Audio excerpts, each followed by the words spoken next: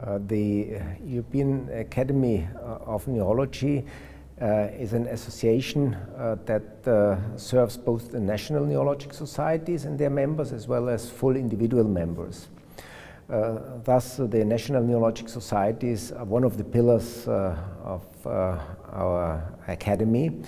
And um, these are the bodies and the national associations uh, by which we can reach out to the individual neurologists uh, in the countries and uh, via our uh, associate members in the uh, National Neurologic Societies to the patients. And uh, by that we can Uh, help and impact uh, on uh, patient care and also, of course, sense what um, needs there are present in the different national societies in different regions.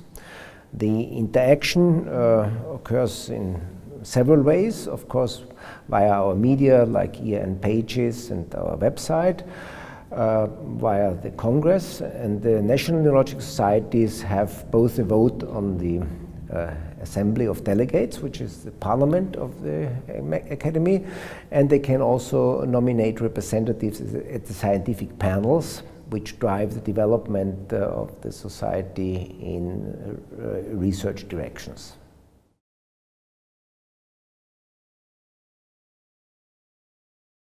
Uh, the um, members uh, of the national societies have a lot of benefits already, but they need not be active in the society. And um, we have experienced that uh, people that are direct members of the society often uh, have um, a better motivation and are more inclined to really work for the society. And we also, to, to accomplish our goals, we really need a, a large uh, group of neurologists that take on the various tasks from education to research to communication. And um, this is uh, the reason why we also strive for individual membership.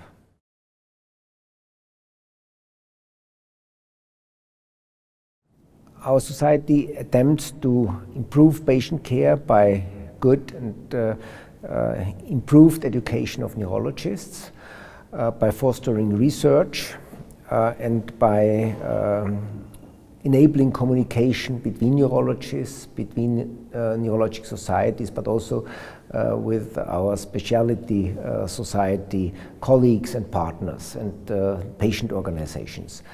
And um, we offer this network on one hand. We offer also a lot of educational material uh, via our web page.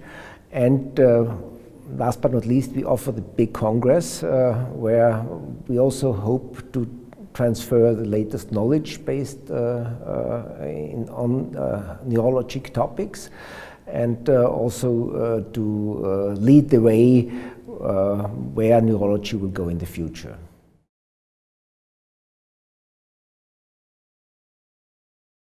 Neurologists in training uh, are especially important uh, for a society that wants to grow, that wants to deliver all, all uh, uh these uh, goals and, and uh, wants to impact on the development of neurology. By that we have special programs um, to enhance education for young neurologists. We offer now a spring school, an autumn school, uh, we offer um, uh, grants and fellowships, both for clinical as well as for research work. And of course, at the Congress, uh, we attempt to offer a lot of educational activities, but also fun, like uh, yesterday, for example, the Brain Challenge, where young neurologists uh, are competing with one another to recognize complex cases.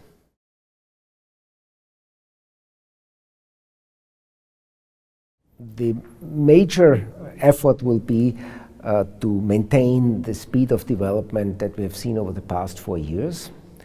Um, this will not be an easy task, but I'm sure that with the board that has been elected and that will still be appointed, this will be possible. Uh, also because of the uh, support of uh, the members that have been on the board and the many committee members and participants that still want to, uh, to contribute. Um, so consolidation and uh, uh, continuation will be a major focus. We will also have um, new uh, aspects that we will target, like uh, perhaps even increased uh, work at the EU level. Um, the final decisions I cannot yet discuss because this will be a decision of the board of the future board.